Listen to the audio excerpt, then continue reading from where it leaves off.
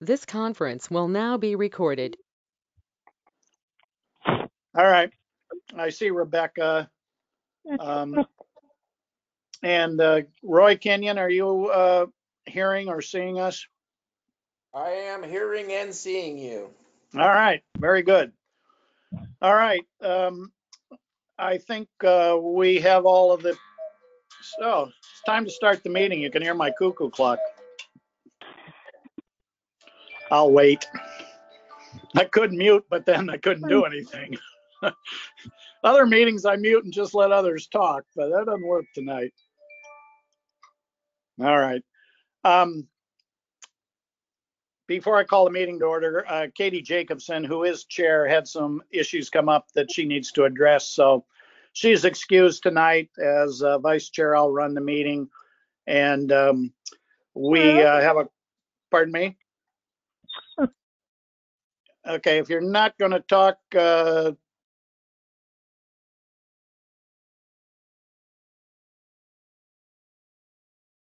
Unfortunately, Doug, now you're muted. right. Okay. There we go. Um, yeah, so I'll call the meeting to order. I, we have a quorum of commissioners, both Commissioner Claire and I are present, and I'll, uh, if I may, take the liberty for the mayor and uh, congratulate him on having his entire council present. So um, with that, um, I'm uh, used the sound check really for purposes of introduction unless, oh, and Shannon, uh, Shannon, you're also on the uh, call to Shannon Beaucaire, the uh, city manager of Yachats. Um, so welcome. Unless there's anyone that wishes to make any other introductory remarks, I think we all know we've been through these work sessions before. It's an opportunity really for the county and uh, city councils to meet once a year and talk about common issues. Uh, certainly make sure we're uh, aligned on the issues that uh, are of most importance to both of us. And um, I think, um, again, it's uh, an opportunity just to uh, work together, which uh, is in the best interest, I think, for all of us and uh, for the county. So, with that thought, um, we have an agenda, um, and uh, I have uh, one, two, three, four, five, six, seven, eight issues, uh, and um, I'll. Does the Yachats uh, City Council have access to the agenda? Yes. You. Yes. Yes, Okay. all the members of the council have it. Okay, so I won't go through it. Um, uh, so the first one would be a COVID-19 update. And uh, Rebecca Austin, who's uh, our Director of Public Health, is uh, present. So Rebecca, give us an update and um, tell us uh, where we're headed. Yeah, thank you, Commissioner. So um, I like to frame my updates as the three Cs, the counts, the concerns, and the community.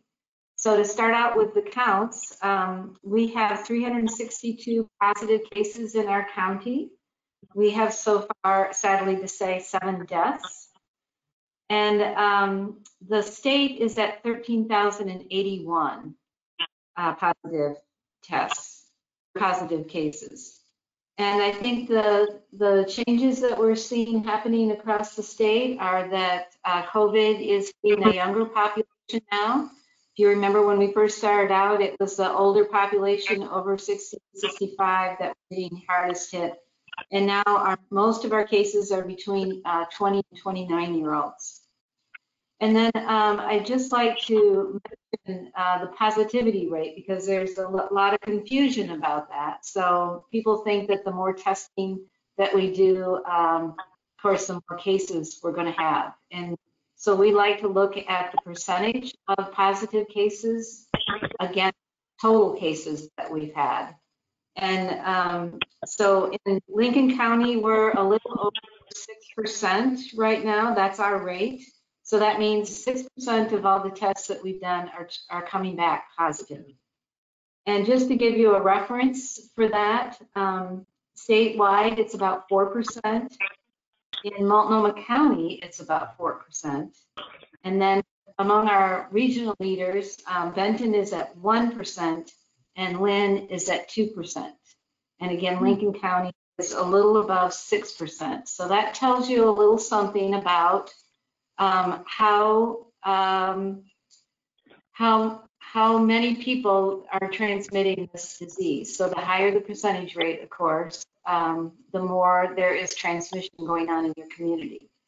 So we aren't as bad off as some of our colleagues, especially in Eastern Oregon. For example, Malheur County, which is a very, very large county and sparsely populated, right on the border of um, Idaho, has a 16% positivity rate. They are really, um, really suffering out there.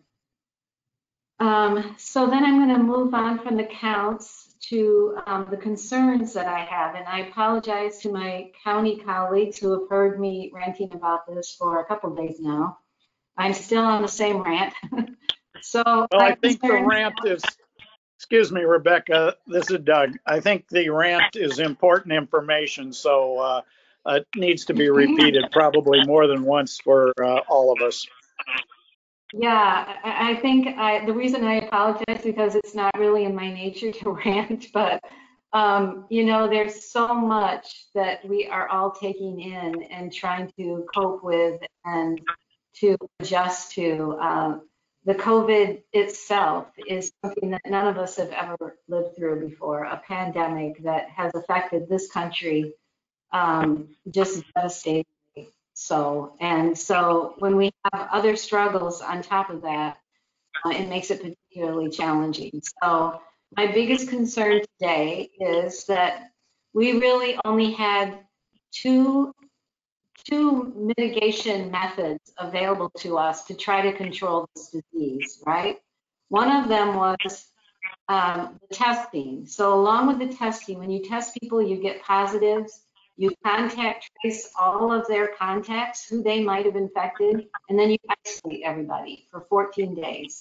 That's, that's a really um, smart way to try to um, control uh, an outbreak. Uh, the other mitigation that we have is basically um, six foot distancing, wearing your mask, and uh, washing your hands. So those are the two things that we have in our toolbox that we can help control this uh, outbreak. And really, one of them has now been taken away from us. So the whole testing thing that we have been working at for months now to get testing up and running and um, useful enough that we could make an impact has really gone in a very bad direction for us. Um, and it's not it's not just us in Lincoln County, it's really the whole country. So what is happening is because the testing is linked to really a national national supply, uh, these are national companies that uh, do the testing. And so we really rely on, on the, the, um, the nation as a whole to help us out in this regard. And when there are. Can oh, everybody somebody mute? Mute, mute. uh, with the exception of Rebecca who's speaking, we were getting uh, some feedback echo there.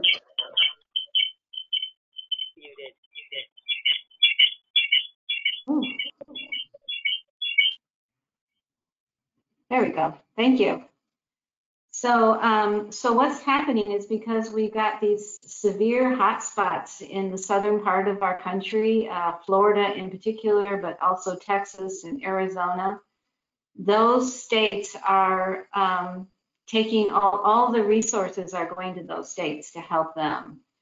And so we are feeling that uh, very much so. And we, we are having, we're struggling with uh, a backlog in our testing. We have um, some tests that have been sitting in the Quest lab, which is a national company, in the Quest lab here locally for, we're now on our 12th day. And these aren't just like people who we think it would be a good idea to test them. These are our residents in our long-term care facilities. And this is why I'm nearly coming unglued because this is a very high risk population and we cannot prevent outbreaks in our long-term care facilities when we don't know who is testing positive. So it's critical for our work to um, protect these people in these congregate care settings from transmitting the disease.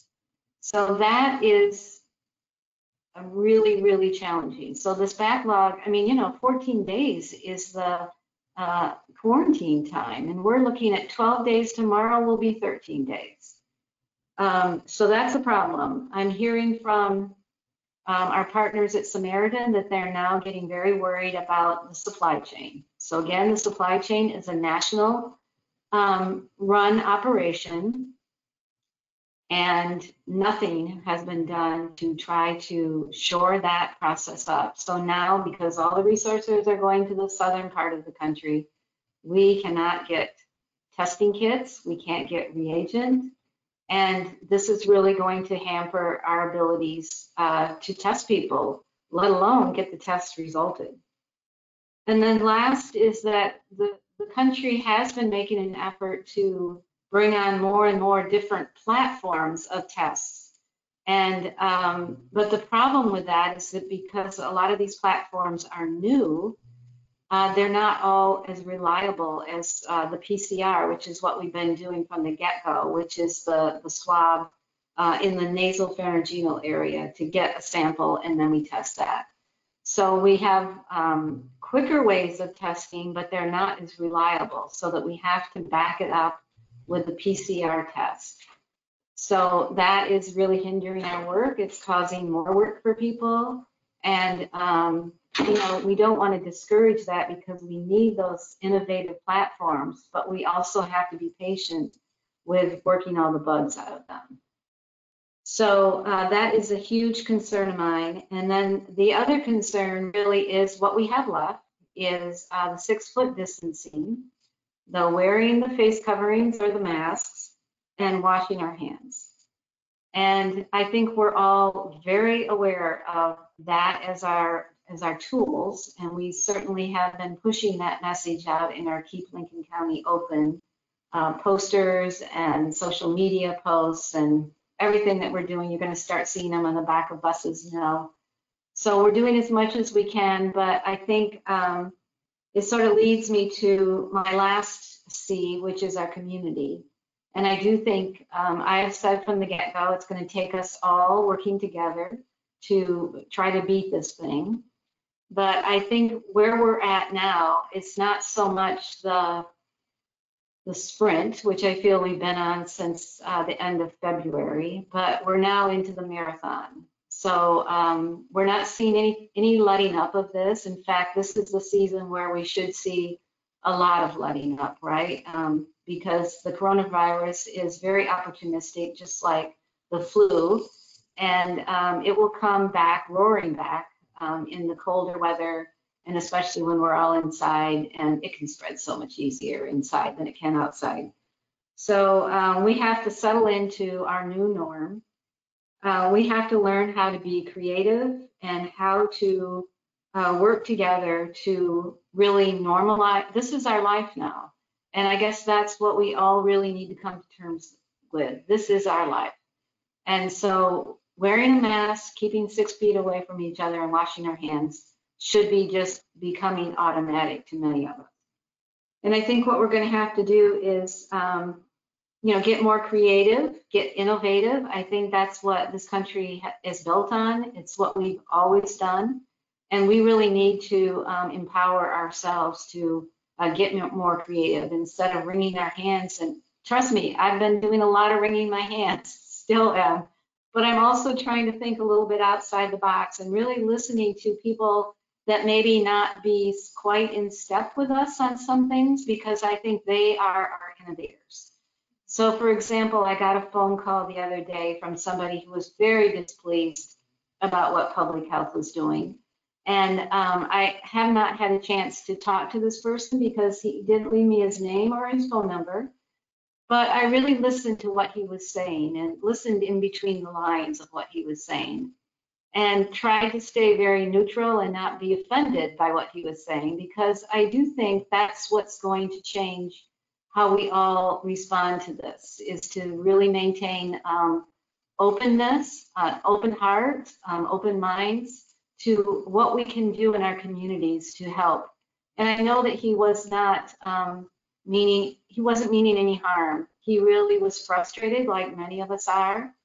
But what came out of that is, I think, a pretty good idea, actually. And I want to pass it on to you because I feel like he wanted public health to do this, but I'm thinking I don't have the staff to do this, but it's a pretty good idea, actually. And especially living in a, uh, tourist area, that he wanted me to go out and hand out masks to everybody on the streets. Um, so people in public health could do that. And I'm thinking, well, that wouldn't be a real good use of our time, but it could be something that the cities pick up and come up with some kind of kiosk or, um, oh, what do you call it, like a little booth where they had masks and, and uh, maybe hand sanitizer that they could just give away. And I think, you know, instead of just thinking, oh, that's so hard to do, you know, or how would we get all that stuff? It would be great if somebody would pick that ball up and run with it, because I do think it could uh, bring us all a little bit more peace of mind. And who knows how many uh, people we could salvage from getting the coronavirus if we did something like that in our communities. So um, that's that's basically what I wanted to say is that our new normal is going to challenge us every day, um, but in order to survive, we must adapt. So thank you very much, and I'm happy to take your questions. Mute, let me unmute. Um, let, uh, I'll just go through, uh, the, uh, city councilors, uh, alphabetically, and if you have a question, you can answer it. That avoids everyone talking at the same time. So, um, alphabetically, Max, uh, I'll save the mayor for last, Your Honor. Um, Max, any questions? You're, you're muted. You're muted, but I assume you have no questions. Sorry, I couldn't get in for a little while, but I'm, I'm here. I don't have any questions at this time. Okay. Um, next would be, uh, let's see, I'm trying to do this alphabetically, so I guess that'd be Mary Ellen O'Shaughnessy.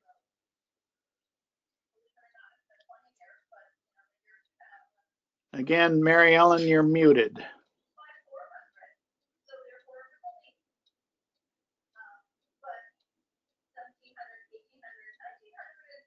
All right, well, we'll come back to Mary Ellen. Jim, I see you. Um, any questions? Uh, no, I don't have any questions, but I really want to thank Rebecca. She's been very professional and it's nice to have a professional opinion that you can respect. Thank you for all the work you've been doing and uh, I agree with you 100%. All right, thank you, Jim. Uh, Leslie? Any questions, Leslie? I heard you earlier.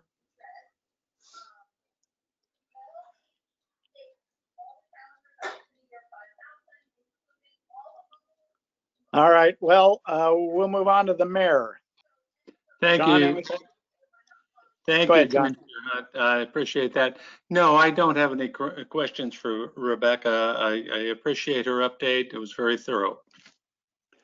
All right, and uh, I'm going to add a couple of comments, but I'm also going to recognize that we've already taken about 18, now 19 minutes, uh, and we've got about seven items left. But a couple of things that have come up. Uh, Number one, um, I have had uh, several conversations where, as Rebecca pointed out, when you look at the percentage of positive tests, uh, the immediate response from some people is, well, of course, we test more people. Uh, if you understand percentages, when you compare percentages of positive tests in one area to another area, you're equalizing the number of testing. So again, when our positive test rate is 6% compared to 2% for, um, what was it, Lane County or whomever, uh, we're three times as bad, folks. And it's not because we're testing more people. So that's my first point. Second point, um, I've had some questions come up about when's the county going to go to phase two so all the businesses can open up or more businesses can open up. And um, we are on the governor's watch list. We're one of eight counties. Uh, all eight are rural, which surprised me when I heard the list. And um, frankly, with the kind of information that uh, Rebecca has shared and the fact that we're on the governor's watch list, uh, I can't imagine that we would be approved uh, if we applied to phase uh, two. And I have to be honest, as a leader, um, I think it would be irresponsible to apply to go to phase two when we're dealing with uh, an increasing uh, number of cases and um, really a issue as far as availability of testing uh, equipment and access to results. So a little bit of information on um, the county and my feelings about phase two. And then finally, um, on Monday of this week, the Board of Commissioners voted to extend our 24-hour hold on um, rentals uh, in the belief that um, anything that we could do that might help slow the spread under these uh, conditions was a positive.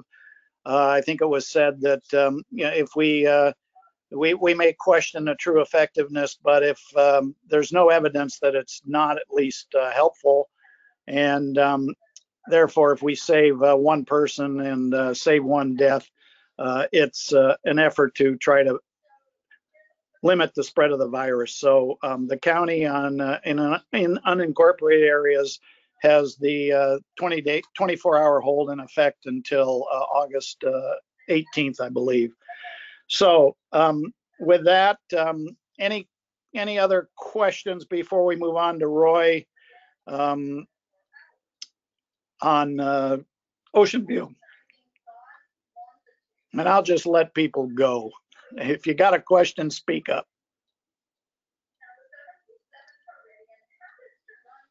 All right. Rebecca, if you're trying to talk, your lips are moving, but I can't hear you.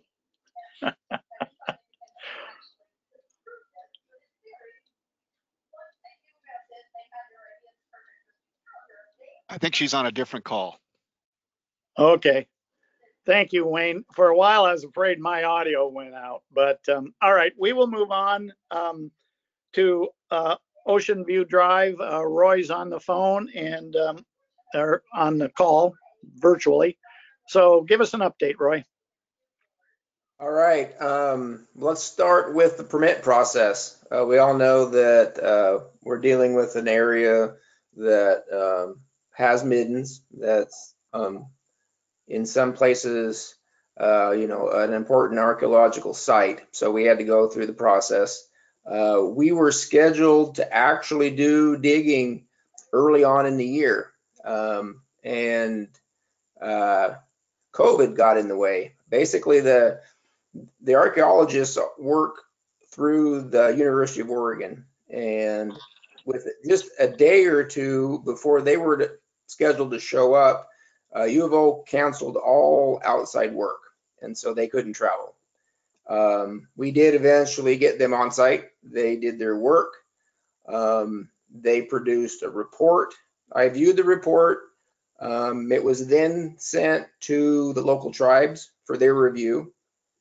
It was then sent back. So we had uh, a final, a final report that then I received. And then um, mid, end of June, I sent the report to SHPO, which is the State Historic Preservation Office, for their review. And I got email confirmation that they had had received the report and that they would be viewing it, I guess, in a timely manner. Um, it's now smack dab in the middle of July. I haven't heard anything yet. Um, I'm hoping that uh, before the end of the month that we get um, their their review back. Um, the report didn't have any significant findings in it. It's pretty clean. I think basically we're gonna go, we're gonna go ahead and get the go ahead to, to do the, the guardrail work um, that we wanted to do. Now, I had a conversation with Shannon, I think it was like three weeks ago, uh, regarding the guardrail. And she had asked about the possibility of, instead of a guardrail, uh, doing some rock work similar to what you see along 101 near the Sea Lion Caves. Um, I told her I'd look into that and I did. I didn't really find anything. I talked to ODOT.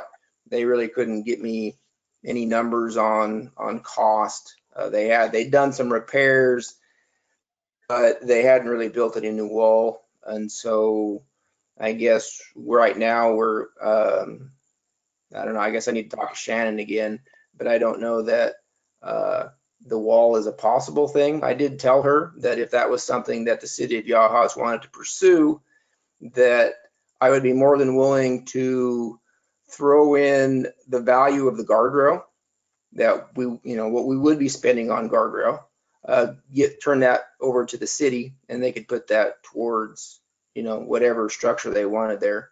Um, but we haven't really talked any more about that. It was kind of more of a, an idea that was thrown out.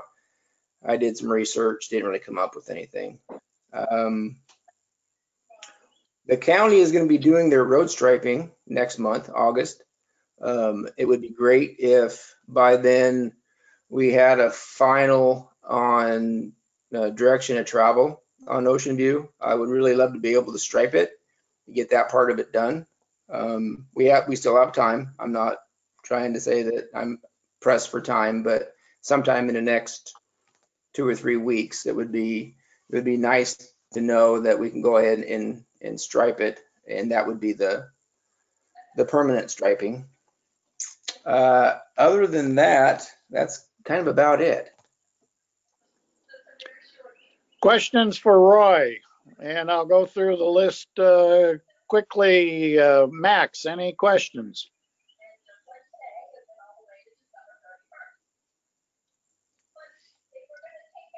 Okay, I'll take that as a no. Um, How about Mary Ellen? Mary Ellen, we get your back.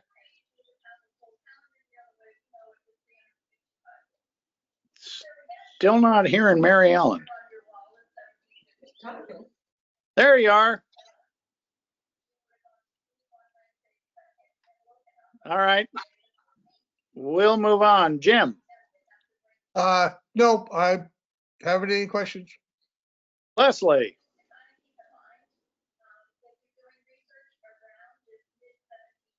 still not hearing. There. Well, the mayor. Yeah, I'm, I'm here, Doug. Um, uh, It's unfortunate we couldn't. hear- It's, it's unfortunate we couldn't get the input from several of our commit, uh, councilors, but um, uh, originally we were hoping to get our um, uh, transportation safety plan info and recommendations about uh, permanent direction. So uh, we do have another council meeting on the 5th. Uh, I'll chat with the city manager about whether or not we should discuss this and make a decision, but I, I'm, I'm not optimistic that we can have a, a final decision on striping by um, August 5th. But Well, we'll see. And that- and that's, and that's fine. Um, I said it would be nice. I didn't say that it was absolutely necessary. I understand what, you know, what's happening. Um, it's worked, or it seems to have worked so far up to this point. I don't see there being a huge issue. It was just, you know, if, if you need more time, that's great. But most likely then it won't happen until about this time next year. And if you're fine with that, I'm fine with that. Okay, thank you, Roy. And um, I guess uh, I would encourage uh, any of the councilors that, uh, with the technical challenges that we're all having, uh, if you have some questions, feel free to reach out to Roy. Um, I know uh, he'd be happy to answer emails or talk to people on the phone. And um, appreciate your patience as uh, we we move forward. So um, unless there's anything else, Roy, I'm going to jump down in the uh, agenda, skip over uh, Commissioner Hall for just a moment, and move on to the uh, county health, uh, mobile health facility. And Rebecca, I hope you uh, hear me and uh, can uh, address that item on the agenda. And then uh, I believe that would enable you to be excused for the evening. Thank you, Commissioner. So yes, um, I am really here in the stead of my colleague uh, Rebecca McBee Wilson, who runs our community health center. And um, so just reporting out what she has told me is that, of course, that was our plan uh, pre-COVID, and it's probably been a couple years now since we've been looking into some kind of mobile health clinic uh, down in the Yachats area. Um, but we are sort of in COVID land now. All grants coming our way are very much tied to um, testing at our FQHC and uh, telemedicine. So we're not really seeing anything that could help us get a mobile clinic going. Um, probably isn't the best time to get that in place, but it's definitely uh, part of our strategic plan, which is a five-year plan. So um, we are, we will continue to uh, look for grant funding, which would really be the only way that we could operationalize something like this. So, um, and I think Rebecca was curious if um, how you all are feeling about us continuing to pursue this um, for the Yachats community. I'll let the councilors go uh, at your own initiative. If you have questions, thoughts.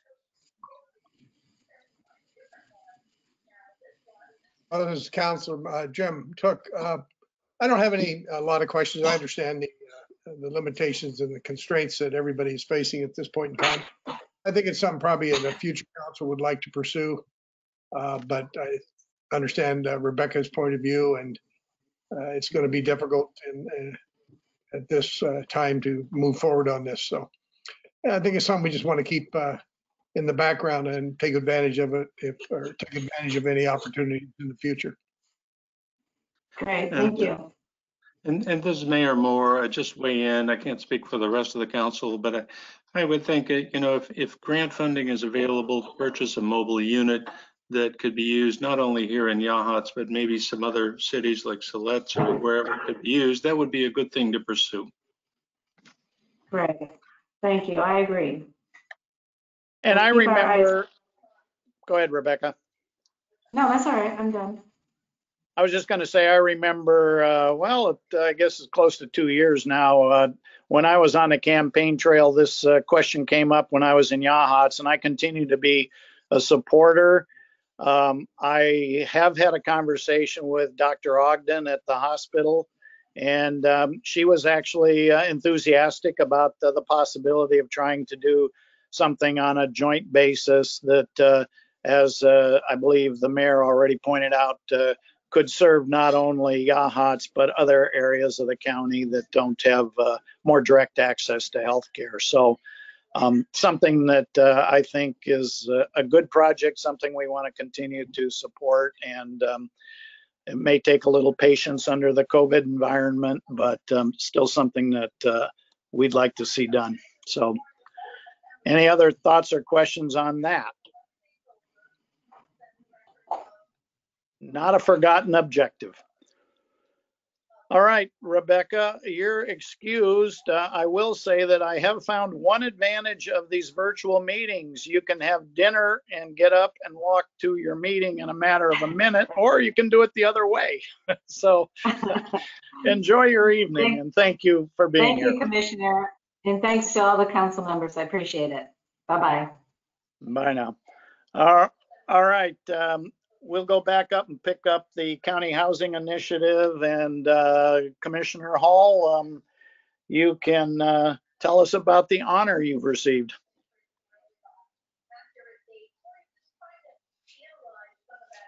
And you're on mute if you're talking.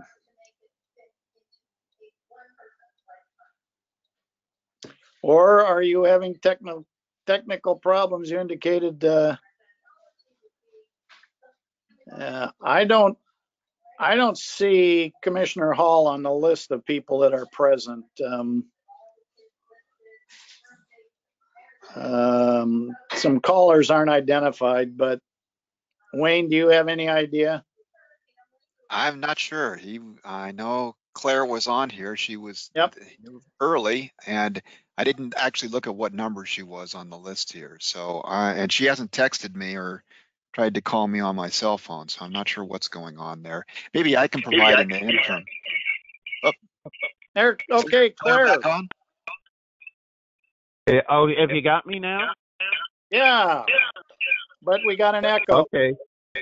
Yeah, I don't know where that came from. Looks like Max, can you, can you mute your phone, Max?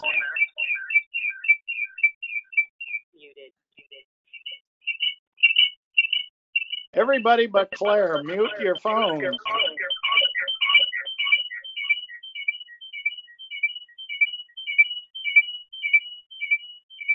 Everyone else has been muted. She's gone now. She was caller four. How about in the interim, if you'd like, I can give a little. Go bit ahead, an Wayne. just on a couple things with the, um, uh, what we're doing on housing. Uh, actually, one of the things that, uh, we can talk about is the county is proceeding. We're actually in the process of putting together an application right now, um, for the low-income housing rehabilitation grant that, uh, uh, Business Oregon provides through the Community Development Block Grant Program. And this is something that we, um, identified in the Lincoln County Housing Strategy, which was adopted by all the communities and the county um, to move forward. And this is uh, what we want to do is really um, provide some additional funding to a program that's already underway. We're using uh, Dev Northwest. Uh, and you guys are familiar with Dev Northwest, your community lending works. I know you guys have a program. We actually have a joint program too that's starting today uh, in terms of some business grants related to uh, the COVID response. Uh, but they have an arm that also does uh, housing, and that's Dev Northwest. And they are already doing some work in Lincoln County with money we- we'd put out previously. And we're starting the, again the process of continuing to feed that particular program. So we'll be applying for somewhere in the neighborhood of about $400,000. When the county applies, we'll make it available countywide.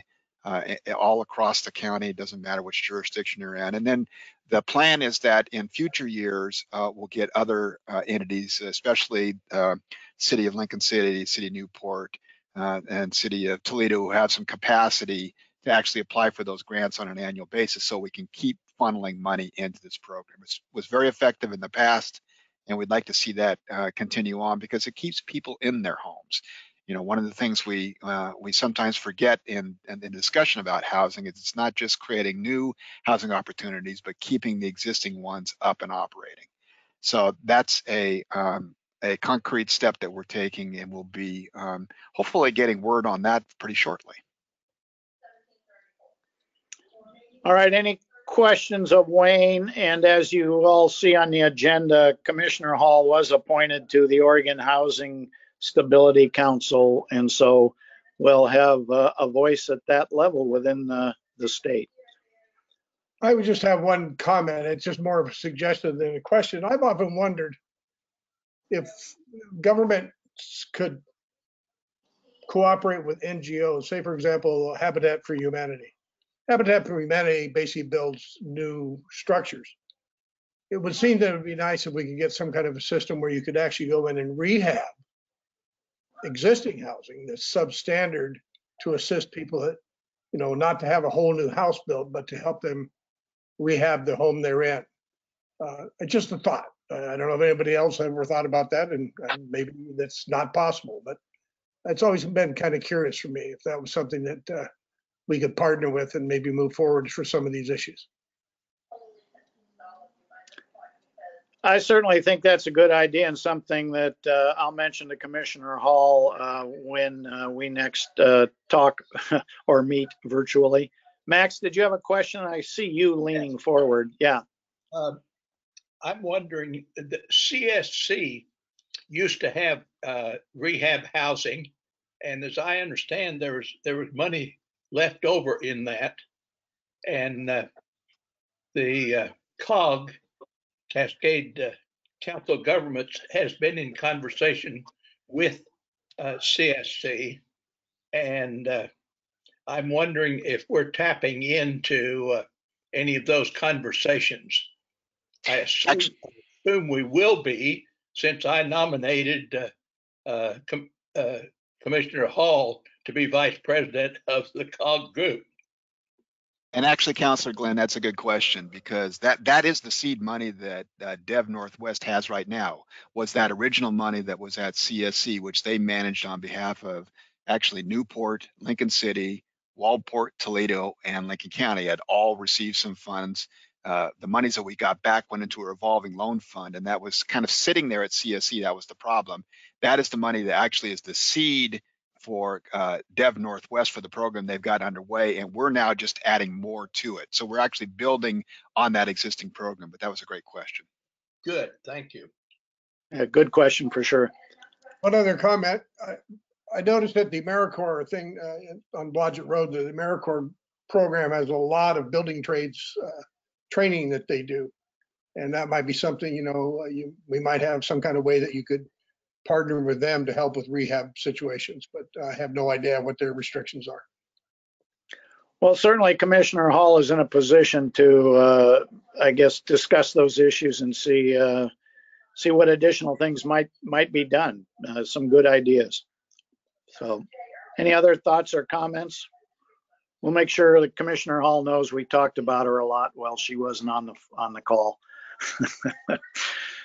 All right. um, Next on the agenda would be vacation rentals and county policies. Uh, Wayne, do you want to start out or do any of the councilors uh, have specific items uh, they'd like to mention first? Well, the only thing, uh, this is Mayor Moore, the only thing I would mention before Wayne starts out is that our council meeting uh, from two to five today, yeah, we had lots of time to relax in between meetings. At our council meeting today, uh, the Yachats City Council did drop the 24-hour hold in Yachats and move that to a one-hour hold, effective immediately. Just wanted to update you on that. Okay, thank you.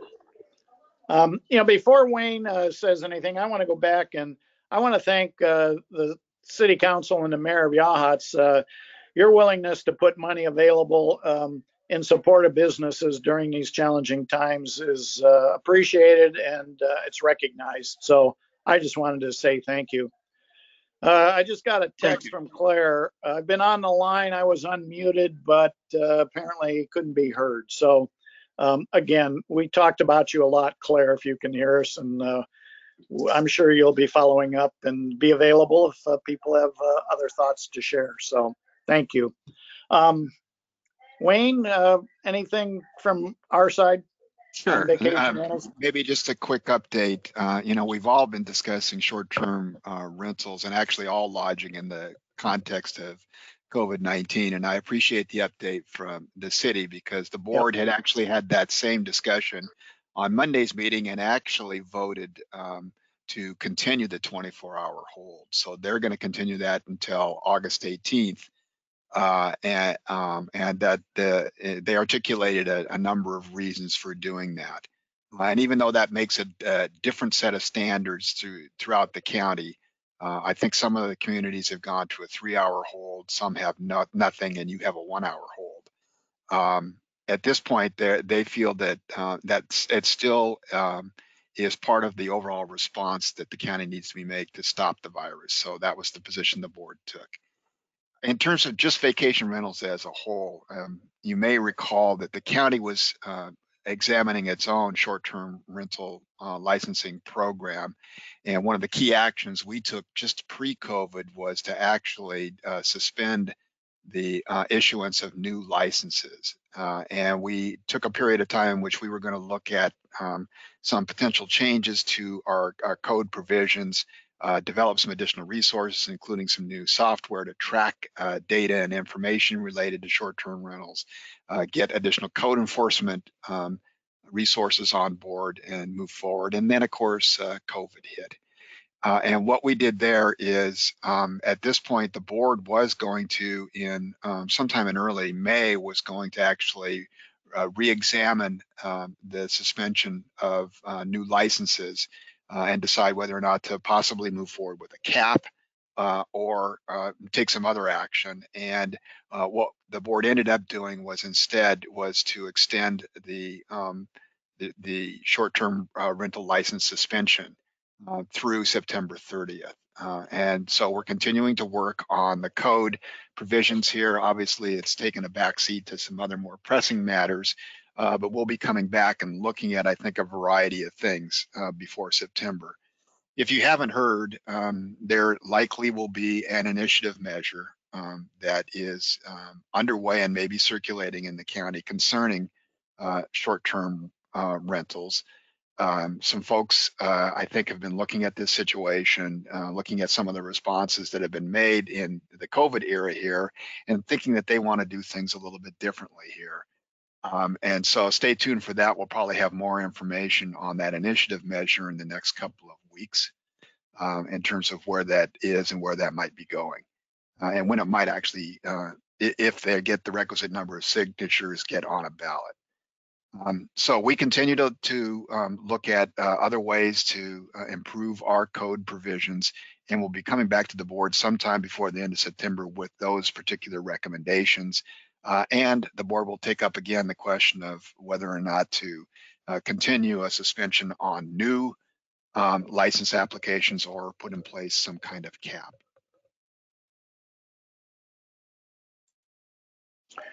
Uh, Max, I saw you raise your hand. Go ahead. You're first alphabetically too. Okay, uh, just an observation and maybe a suggestion. Uh, This is an area where I think it would be helpful to have some uh, unified policies. I've begun to see advertising, uh, particularly before the uh, COVID, uh, saying, uh, go with us because we, we don't have to follow the rules that Yachats has. And which was implying that they would, uh, uh, were in the county. And so, uh, I'm, uh, I'm thinking that, uh, and suggesting that you, you might take a, a hard look at the policies that Yachats has in place. We spend an awful lot of time, uh, on refining these policies. They're not perfect in any means, but uh, it would be helpful, I think, so we don't get one uh, being played off against another in this industry. And, and Councilor Glenn, I appreciate that. And we actually have looked at the other ones. Unfortunately, in Lincoln County, we have a number of jurisdictions and everybody has totally different schemes and totally different regulations. So, you know, Sure. Lincoln City does it one way, Newport does it another way, Yachats does it a third way. So uh, it's very difficult for the county in that sense to, to try and match everything that's out there. So.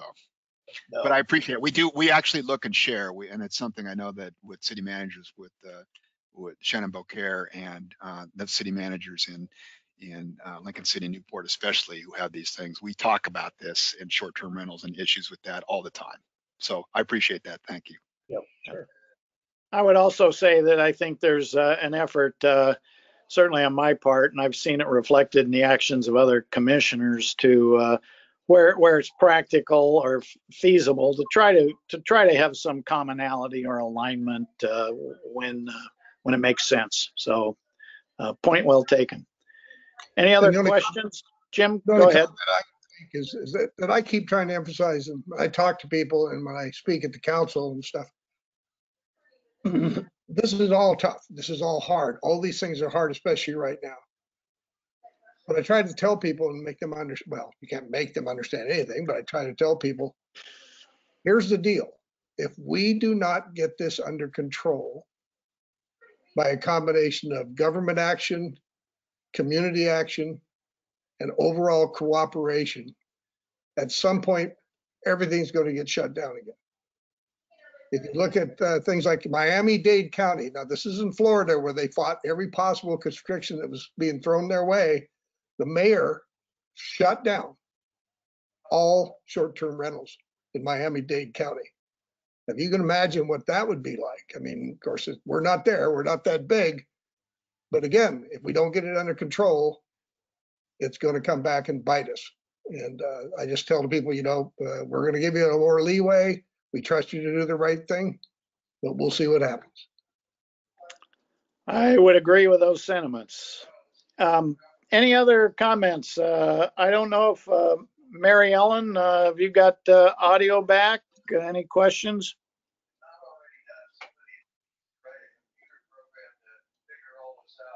Well, we keep trying. Leslie,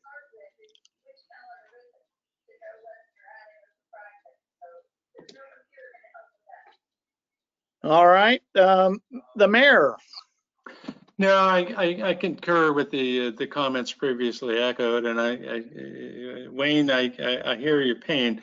Uh, You know, when we started this whole thing several months ago, when we got into COVID, at that first meet, joint meeting, uh, we had pretty solid agreement between almost all of our cities in Lincoln County, and we've all kind of gone our separate directions. So it's, it's tough for the county to end up with a position that's going to work with all cities. But that- that's all I got. Okay, thank you, Mayor.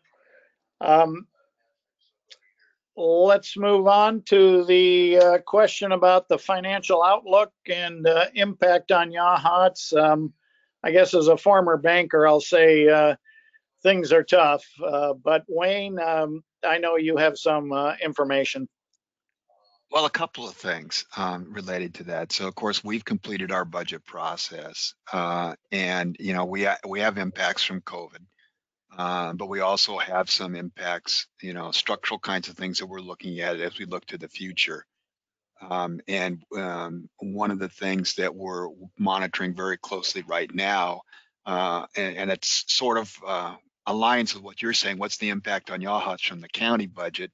Well, we're looking at what's the impact on Lincoln County from the state budget, and that's a big issue right now. Uh, the legislature um, is going to have another special session here uh, and to deal with just specifically budgetary issues. And unfortunately, because of the projections they've got from their revenue forecasts, um, they uh, had talked about some cross the board cuts at a certain percentage level, but that was months ago. And by the time they actually get around to doing it, it's going to concentrate it now to prob- probably a year's impact uh, that they're going to have to make their uh, appropriate cuts. And so we're going to see some um, changes. We're going to see some uh, uh, impacts on our budget, the portions of our budget which are funded by the state, and that'll pass down in the services we can provide for citizens around the county, including those in Yachats.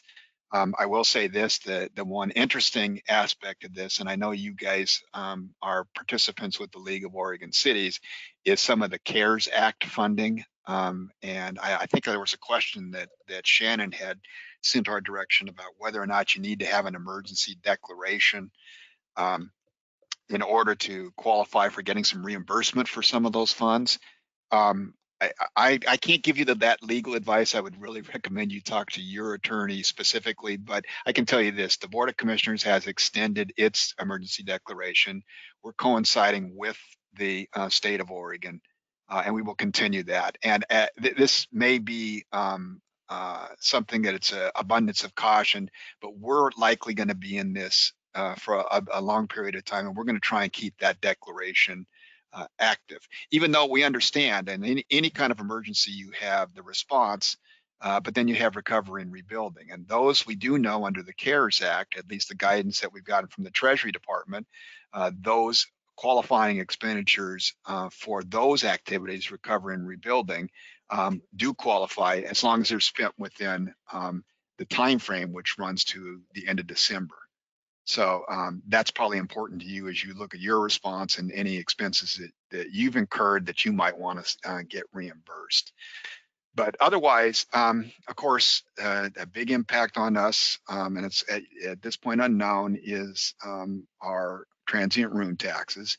Uh, although it ours is significantly less than I know the city of Yachats, um, Lincoln City, and Newport. It's a smaller percentage of our overall budget um, than it is for your community. So, um, but we're all going to monitor that. We're going to look at that. We do know that on a federal level, um, the current um, uh, iteration of uh, federal uh, aid, which is going to be forthcoming, we think within the next month, includes at least consideration under the House passed version of the HEROES Act, includes consideration of replacing lost revenue to local governments and state governments. I I wish I could predict and say that's something that's going to be included in the final version. Uh, I'm not so sure it is. Um, I think that's a point of contention uh, in Washington, and so we'll see where that goes. But that might be something that at least gets us over the the uh, initial um, bump of what we're doing financially.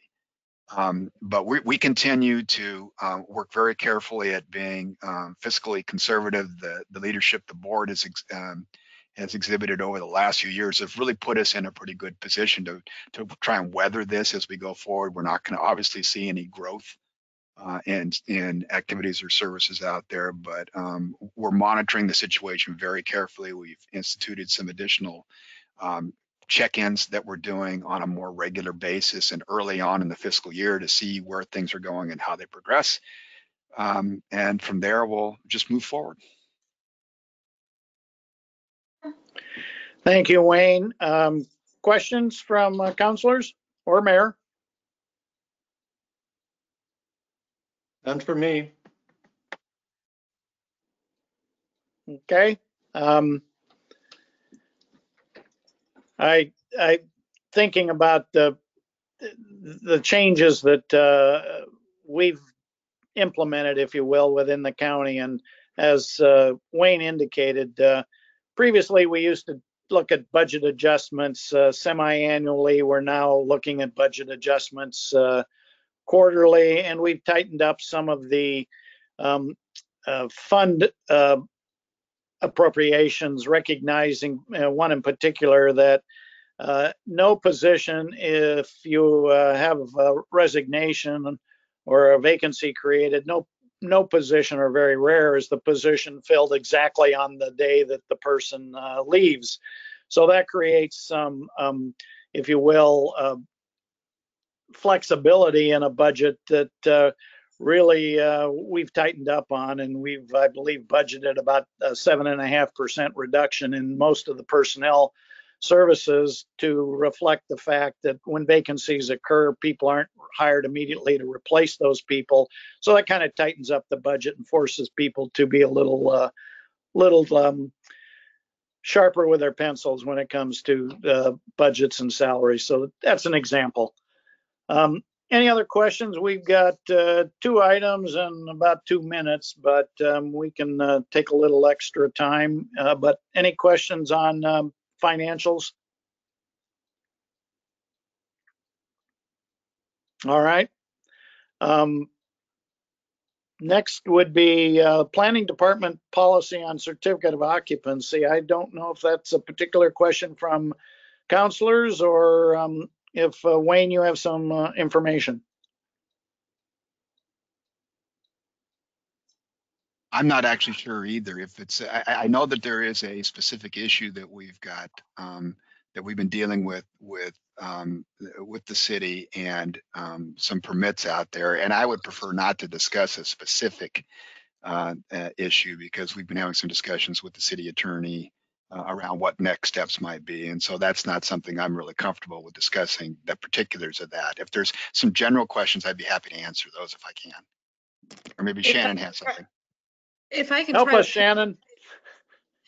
If I can try to paraphrase Councilor Voller's, um, what I remember Councilor Voller's concern about this, and she hasn't been able to unmute herself, is there was just a general question about how does the county planning department uh, file certificate of occupancies? How far back is certificate of occupancies? We found some other um, generally older buildings, uh, when we've asked for them, they may not be on file. And so what is just the general expectation of the county in filing and how far back certificate of occupancies go?